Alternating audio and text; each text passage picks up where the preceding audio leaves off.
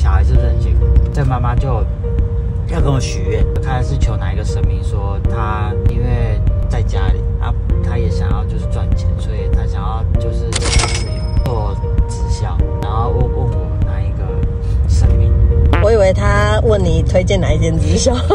我就请他就是给我看他的双手，不是所有人都可以做直销，要有什么业务口才命格。不是只会介绍产品就好。直销这种东西，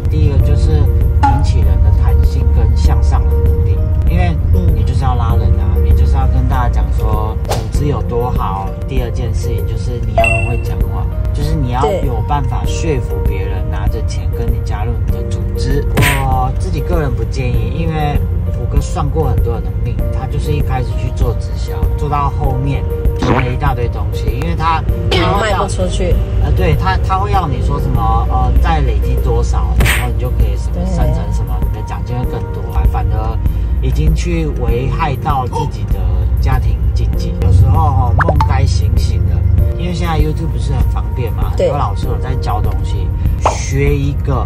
真正技术无法取代的事，像水电。像修车、像厨师这种东西是没有办法被取代的。虎哥建议，如果是一个单亲妈妈，或者是你什么都不知道的一个情况下家庭，主妇对。千万千万不要踏入直销，你就已经都是待在家里了，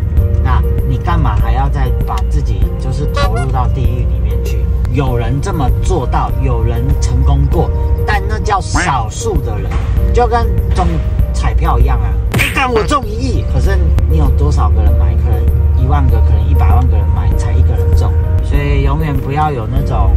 好像只要花一点点心思，好像就可以得到财富自由的这种想法啊。就这样啊，下次见面见了，拜拜。